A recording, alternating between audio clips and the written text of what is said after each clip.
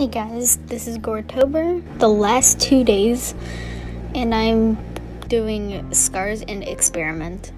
I'm once again drawing my OC Kikyo, and the reason I'm putting the last two days together is because I figured that they kind of go together fairly well. While drawing this one, I wanted to get a sense of like helplessness in the character since it's experimentation, but then also the scars and stuff to add in just as if like everything is going wrong. The topic of discussion today is going to be accepting criticism and not judging yourself too harshly.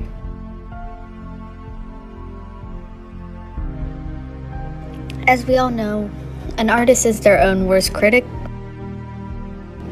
and it's hard to not look at what you're making and think that it's the worst thing ever. Even if you think that it's something bad that you've made, it's always good to keep the worst drawings that you've done. It gives you something to look back on and it lets you look at the things that you want to improve on. A lot of the things that I make, I don't like.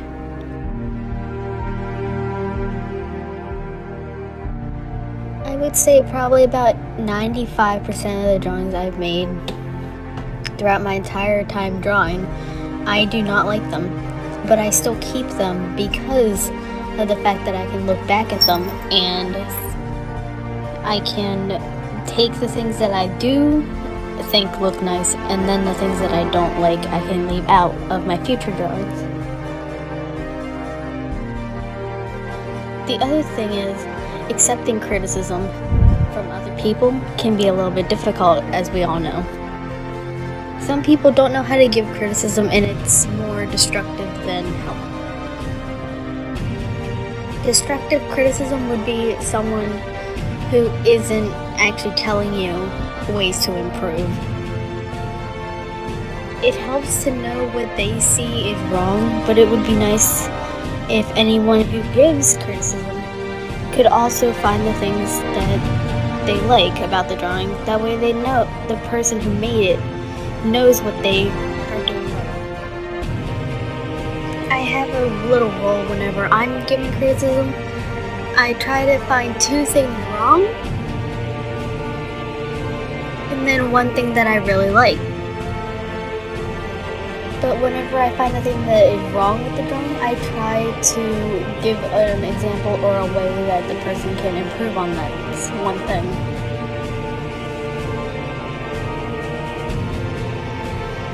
To me, the only time that someone should not be accepting criticism is if it's destructive. But the issue with that is a lot of people get so defensive about it, they either just ignore all criticism altogether, or they just kind of backlash. Like they attack the person back. You see this a lot online.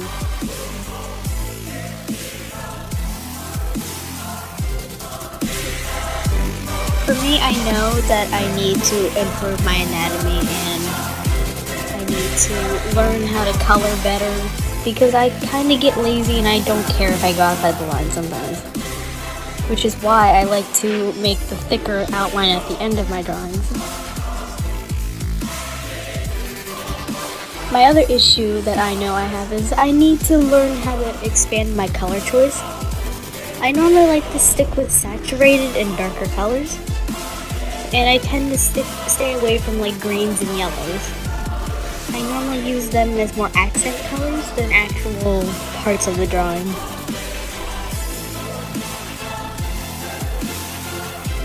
Other things is I'm pretty sure that I suffer from the whole same face syndrome thing. You know, where all of your characters have like the same face shape. And I am trying to get out of that a little. It's just, it's something that you have to practice constantly.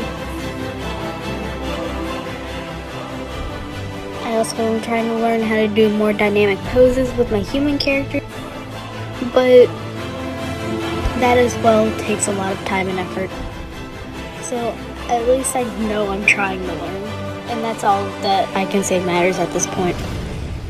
To me, as long as you're trying to put in the effort, that's what matters. Learning different things always can change and help you in the long run. It makes you more marketable to other people and customers.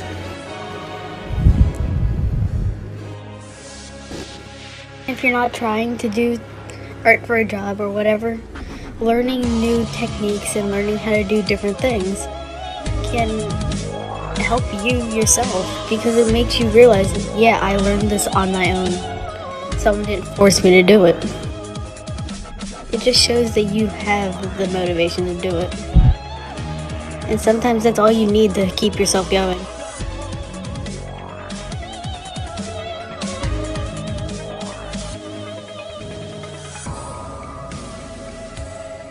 Me personally, I actually enjoy giving criticism and receiving it. It just helps me learn what I need help with. But other people, sometimes they just don't accept it. Whether it's because they're young and just starting out, it could be anything. But some people just don't.